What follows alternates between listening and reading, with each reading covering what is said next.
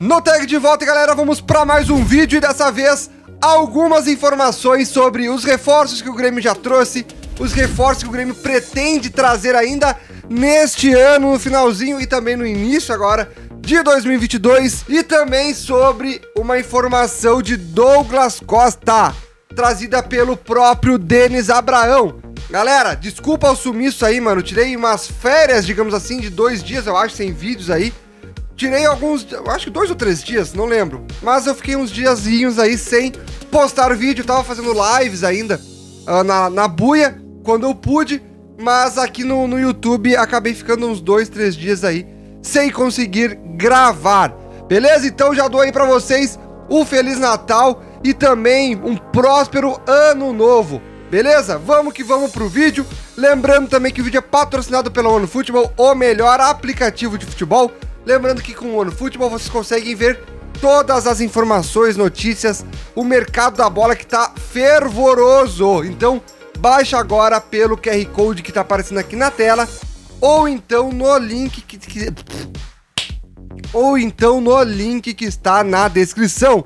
É de graça pro Android também pro iPhone. Então, gurizada, o Denis Abraão deu uma entrevista pra Rádio Guaíba, onde ele disse que o Grêmio não disse ainda sobre a rescisão de Douglas Costa e diz que não há por que rescindir. Vou pegar o trecho, as palavras que foram usadas pelo próprio Denis Abraão, vice-presidente do Grêmio. Ele disse o seguinte: Tenho uma relação boa com o Douglas.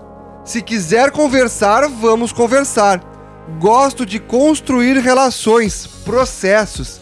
Vamos sentar e vamos construir um negócio que seja bom para o jogador e para o Grêmio. Desse jeito, tem jogo. Caso contrário, se só for bom para o jogador ou só bom para o Grêmio, não vai ter negócio. E ele ainda disse, né? Eu não vou rescindir contrato com Douglas Costa. Por que eu rescindiria? Então, cara, a, a gente não tá conseguindo entender muito bem, né, o que o Denis quer dizer em algumas pautas, porque ele já nos falou que Douglas Costa e Alisson não continuariam no Grêmio. E agora vem com um papo distorcido sobre o Douglas Costa. O Alisson, sim, já foi pro São Paulo, foi o nosso grande presente Natal. O anúncio, né, do Alisson no São Paulo, graças a Deus, nos livramos dele. Mas o Douglas Costa a gente não sabe o que vai acontecer. É óbvio que é uma outra situação. Douglas Costa é um jogador milionário. Douglas Costa é um jogador que, querendo ou não, é o melhor do, do nosso elenco. Ele tem a, a maior qualidade técnica, isso é inegável. Mas depois de toda aquela novela que aconteceu agora no final do ano, a gente não saberia como lidar com o Douglas Costa realmente voltando a vestir a camisa do Grêmio na temporada de 2022. Então, por esse motivo, a gente realmente acreditou que ele não estaria mais no Grêmio, né? Não seria mais jogador do Grêmio.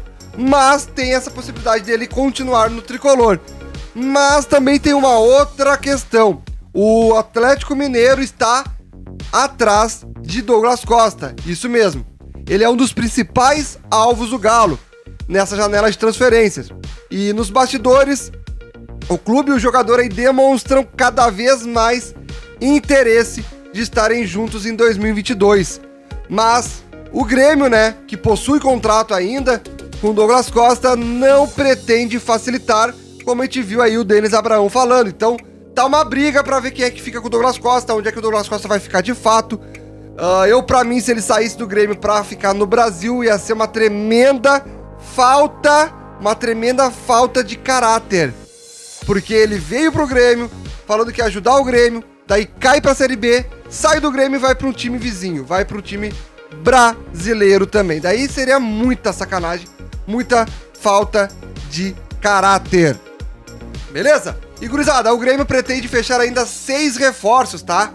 Já trouxe aí três, né, anunciados, que foi Bruno Alves, foi o Orejuela e também o Nicolas, lateral esquerdo. O Grêmio ainda tem o Janderson, que deve ser anunciado em breve. Janderson ponta direita, né, joga no ataque ali, uh, veio do Corinthians, 22 anos, a princípio virá por empréstimo. Então é um jogador que o Grêmio provavelmente irá anunciar em breve, em breve. E tem mais um jogador que o Grêmio também deve estar trazendo, tá? Pode ser um meia.